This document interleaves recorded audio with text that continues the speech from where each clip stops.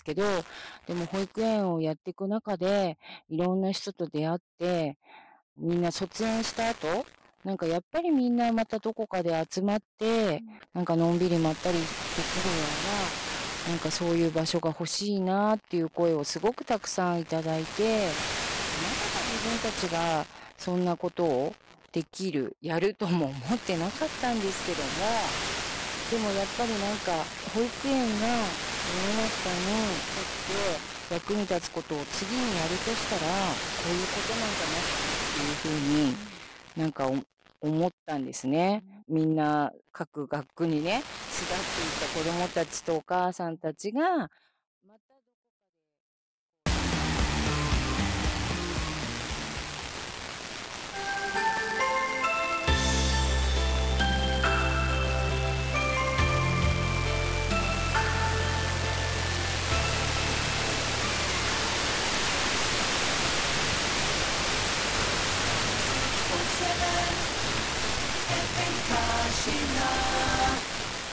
女性が作る女性に優しい家といえば水ホーム